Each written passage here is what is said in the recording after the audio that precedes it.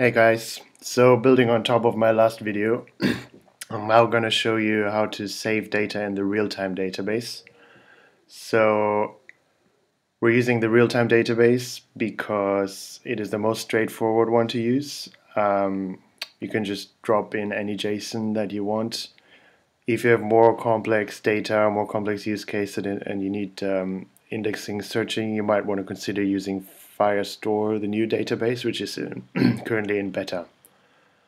So to in order to activate the database, we just go to console.firebase.google.com. We select the project that we created in Dialogflow here, which is in my case get name, and then we literally just click uh, start now, and we can just use this default setting and just activate. That's how you do it. And now, so going back to dialog Dialogflow, so what we're going to do is, in the last video we received the name of the user, so now we're going to save it in the database. Um, obviously be mindful what kind of data you save in your database. Uh, don't save the name if you don't have to with GDPR and everything these days. So this is just an example. Um, Okay, so the first thing we need to do is go to the get name intent where we recognize the name via the system given name entity and we're gonna remove the default text response here. And we're gonna activate enable webhook, webhook call for this intent. Um, I'm gonna save this before I forget so I removed the response here because we're going to use the webhook in order to return us a response. The next step will be going to fulfillment. Um, by default this will be disabled so you gotta enable it and we're gonna use the inline editor to edit our webhook because it's gonna be only a couple couple of lines of code. If you get more complex you can always do it on your local machine and push it using the um, the command line tool that is provided by Firebase. But for this one this is good enough. Okay. So these imports are already here by default. The only thing that I added was requiring Firebase admin uh, which I need in order for the database interaction and then I'm calling initialize app here which uses default credentials to initialize the connection which I'm not sure if it's super happy about. I got some warnings here estimating the Firebase config so you might want to be specific for a production app but this is just for demo purposes so it works without any config which is great. Um, also because I created my um, my Dialogflow agent a while ago, I needed to update the admin and Firebase function to the latest versions. In order for the initialization to work, um, I need to update to the newest version.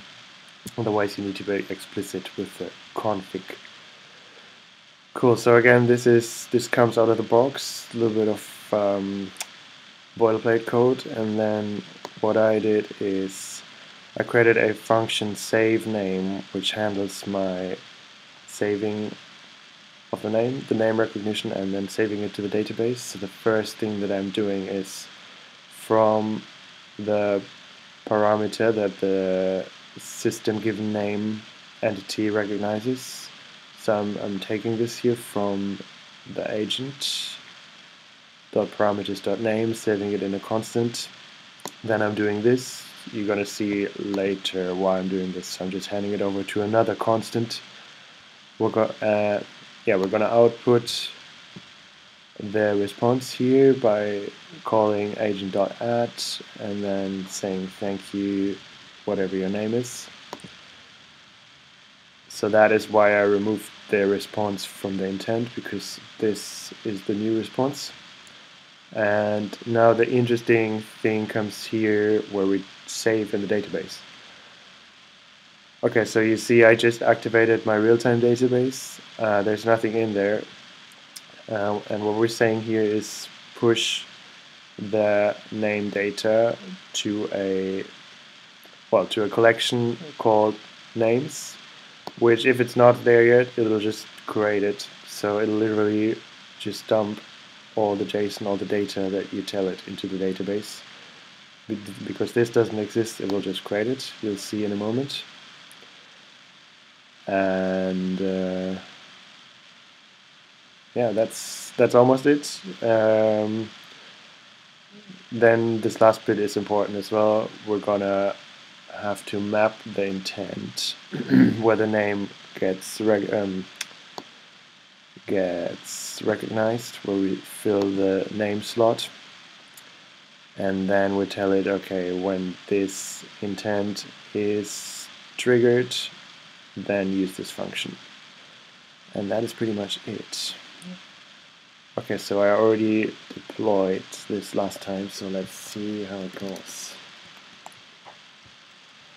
I'm saying hi, hello, what's your name? It's Peter. Thank you, Peter. Okay, now if we go back to the real-time database, we can see that the names collection here was added and a piece of data was added with the name Peter. Okay, great. That works so far. Um, I could leave you here, but I want to finish a full working example off the back of the last thing that I showed, which was not only using the system give name entity to recognize the name, but recognizing all kinds of names. So we had this we had this loop here where if the name isn't recognized by get name with the system given name entity. We have a catch all and that uses system any to recognize any name. And then we're because well the user could enter anything uh, so we have to confirm then if that's the name.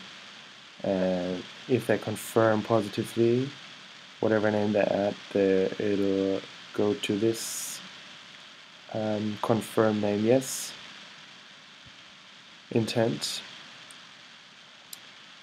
so that is the second hook point where I need to uh, save the name that has been successfully recognized so I'm going to get rid of the text response here as well and activate the webhook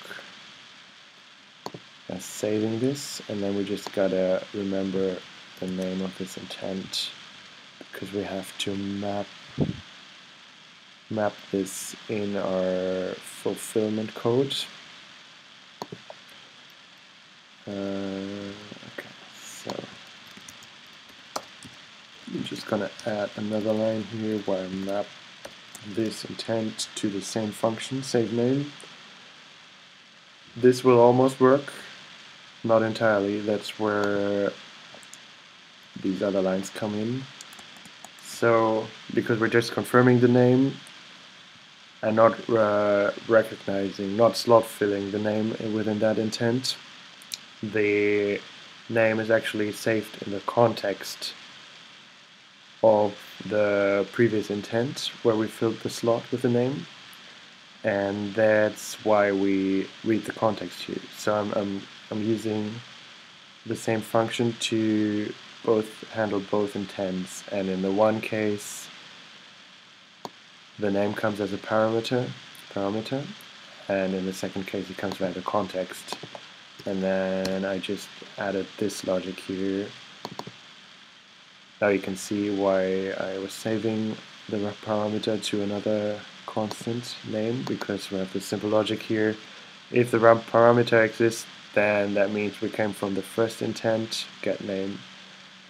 If not, then we'll probably get the name by, uh, by the context, which is this one, and would come from the second intent, confirm name yes. Cool, I'm gonna deploy this. And the rest is the same. So once we have the name, we just return the answer and push everything to the database. Cool.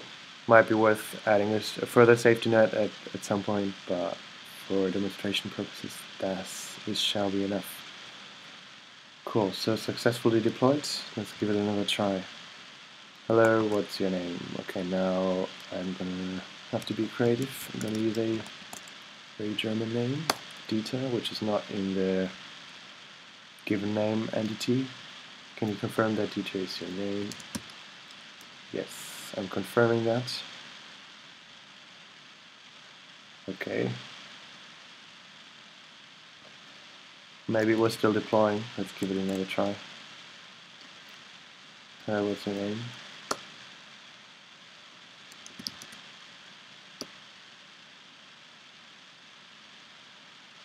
Alright, there we go. Thank you. It's interesting how it told me that it was done deploying, but it still didn't work. Okay, just try it again if that happens. And now we can see in the real-time database, cool, that name was added as well. Yeah, and that's it. I hope that was uh, useful as a short intro on how to save data. I'll see you in the next video.